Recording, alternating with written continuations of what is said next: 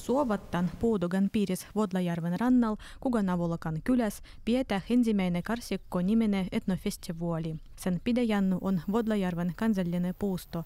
Proosnikan tavoittehennu on helvyttiä ja kehittäjä hieliä Puudugan chupon perintyä. Etnofestivaalin aigua pidetään masterclassoida kilboi, gostet opastuta kijuomah grjuhah. Jarmankal suovu ostua Puudugan neroniekoina zutestu. Karsikko etnofestivaali algavuu keskipäivän aigah. Suovattan Petrovskon kyläkunnan Dekunniemen kyläs pietä ensimmäinen Petrovskoit niityt kyläfestivaali. Sen aigua paikalliset ja tulluut niittäjät ruvita kilpailemaan keskenään.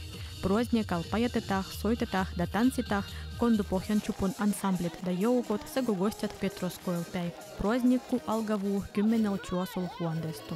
Pyhänpien Hanuksen Megriel pietä perinnöllisty Megren päiväfestivaaliin. Tänä vuonna sen teemannu on Megren rodu. Proisnikan gosti tuttavutetaan Megrien kandu eläjienke. Proisnikku programmas on eri kollektiivin esitysty. Rubio rodamah Jarmanku lapsikda aiguzih nishku pietäh sportukilboida kijoi. Armastalo rahvakan käsi ruodoloin keskus avua verjät festivaalih tulluzile. Proisnikku pietäh Megren puustos adressil школах улицу 23. Фестиволина ваязат роях кахтен тосту айгуа.